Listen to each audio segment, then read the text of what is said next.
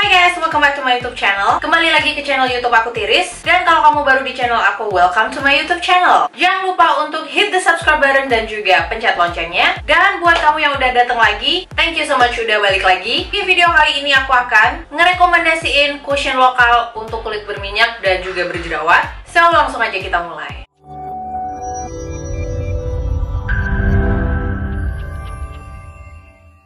Jadi buat kamu yang baru datang di channel aku, sebagai informasi bahwa kulit aku itu adalah extremely oily skin dan juga acne prone Kulit yang sangat berminyak dan juga berjerawat. Oke, mari kita langsung aja di urutan keempat. Ada cushion lokal yang menurut aku coveragenya lumayan dan juga puffnya enak Yaitu adalah Purbasari Cushion. Nah, dia ini di kulit berminyak itu lumayan awet. Di aku itu bisa bertahan sekitar 4-5 jam Sampai akhirnya oily dengan benar-benar oily. Cushion ini puffnya juga enak banget. Aku suka cushion yang puffnya empuk kayak gini. Saran aku karena karena cushion ini oxidize gila-gilaan mendingan kamu beli satu shade yang warnanya lebih putih daripada warna kulit kamu yang aku suka lagi dari cushion ini adalah cushion ini tuh harganya murah mengandung SPF dan juga packagingnya eksklusif banget selain itu cushion ini juga coveragenya lumayan dan juga gampang di blend aku juga pernah bikin single review tentang cushion ini aku akan taruh linknya di description box satu hal yang perlu diingat walaupun dia ini coveragenya lumayan dan juga gampang di blend dia nggak bisa nutupin tekstur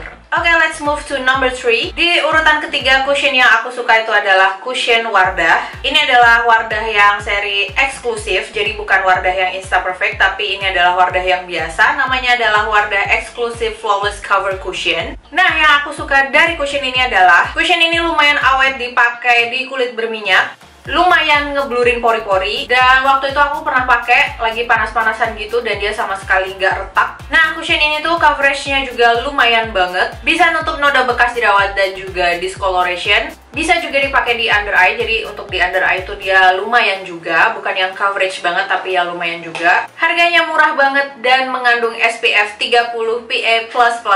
Nah selain ini cukup bertahan di kulit berminyak dan nggak smear off, cushion ini juga gampang di blend dan warnanya sangat bersahabat dengan warna kulit orang Indonesia dan ini aku pakai yang nomor 2 yaitu adalah honey beige. Yang aku nggak begitu sukai dari cushion ini adalah puffnya. Jadi puffnya itu lumayan menyerap banyak produk dan mengaccentuate pori-pori aku. Jadi aku kurang suka sama puffnya tapi sama dalamnya ini sama isinya itu aku suka aku pakai setiap hari. Oke okay, let's move to number 2 di urutan kedua cushion lokal yang aku suka adalah dari Makeover Power Stay. Jadi aku suka sama cushion ini karena dia itu nahan minyak tingkat dewa. Cushion ini tuh hasil akhirnya adalah matte finish. Sebenarnya dia tulis kayaknya ini tuh demi matte cover cushion.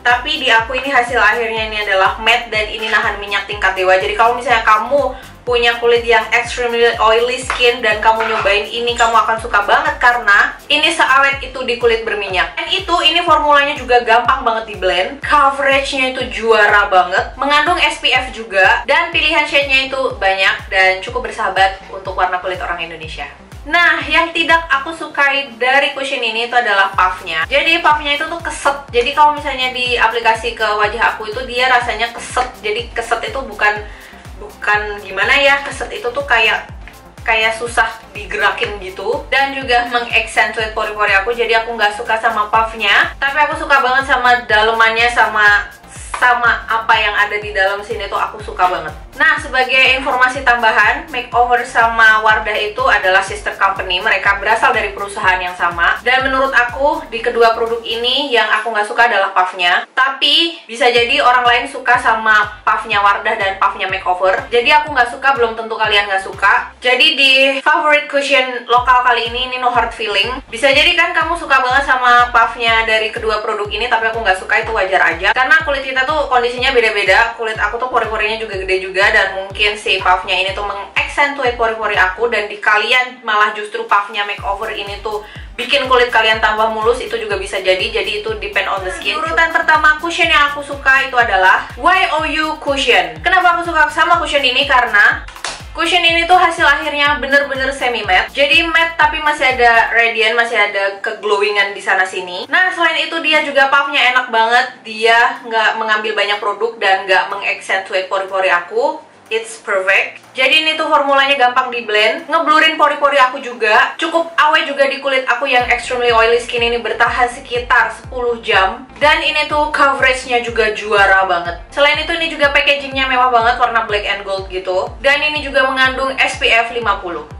Keempat cushion ini aku udah bikin semua single reviewnya. Aku akan taruh linknya di description box. Nah, sebenarnya banyak juga cushion dari luar dengan harga yang super affordable atau super murah, yang kualitasnya bagus banget kalau kamu mau aku rekomendasiin cushion luar dengan harga affordable, komen aja di bawah and I'll do the video. Nah inilah tadi keempat cushion dengan coverage lumayan bagus yang bisa menutupi noda-noda bekas jerawat dan juga discoloration. Dua cushion ini harganya 100 ribuan dan dua cushion ini harganya 200 ribuan. Nah buat produk yang aku nggak mention di video ini karena aku udah nyobain berbagai macam cushion, berarti ketahanan di kulit berminyak itu kurang. Oke, sekian dulu rekomendasi cushion dari aku untuk kulit berminyak dan juga berjerawat. Semoga review ini membantu. Finally, you reached the end of the video. Thank you so much for watching. Don't forget to give thumbs up and also subscribe. And I'll see you again on my next video with more exciting video, of course. Love you so much as always.